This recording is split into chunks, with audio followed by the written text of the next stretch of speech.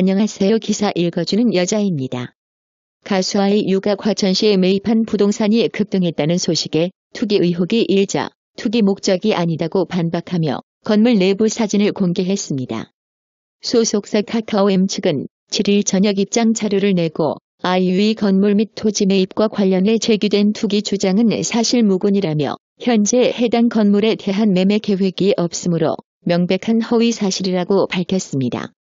카카오엠에 따르면 아이유는 지난해 초 본가와 10분 거리에 있는 과천시 소재 전원주택 단지 내 건물을 매입했습니다. 해당 건물은 상업, 사무 목적으로 완공된 근린시설 건물로 현재 아이유의 개인 작업실, 어머니 사무실, 창고, 후배 뮤지션을 위해 무상으로 제공하는 작업실 등 실사용 목적으로 매입 당시 모습을 유지하고 있습니다. 이 같은 해명은 이날 경제 전문 인터넷 매체 스카이데일리가 정부가 수도권 광역 급행철도 GTX 건설을 가속하면서 수도권 일대 부동산 시장이 들썩인다며 아이유 등이 GTX 수혜자 명단에 포함됐다고 보도한 데 따른 것입니다.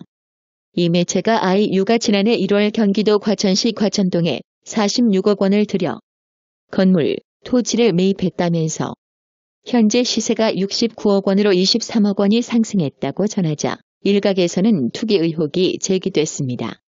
카카오엠은 이날 오전 반박 입장을 냈지만 청와대 국민청원 게시판에 아이유의 투기 의혹 관련 청원이 올라오는 등 관련 의혹이 인터넷을 달고자 유언비어 확산 차단을 위해 현재 사용 중인 건물의 내부 사진을 공개한다고 밝혔습니다.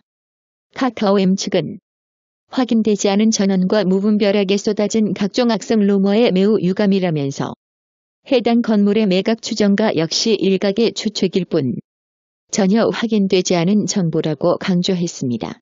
또 해당 지역이 조용한 주택가여서 단지 내 주민 분들께 피해가 가지 않을까 매우 조심스럽고 우려스럽다면서 가수에 대한 허위사실 유포와 명예훼손에 대해선 법적 대응을 하겠다고 전했습니다.